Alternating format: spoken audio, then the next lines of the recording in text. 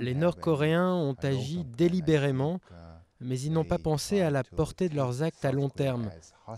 Ils prennent la Corée du Sud en otage et c'est un moyen de dire au monde entier, regardez-nous, on est vivants, regardez ce qu'on fait. Et voilà le message de Pyongyang.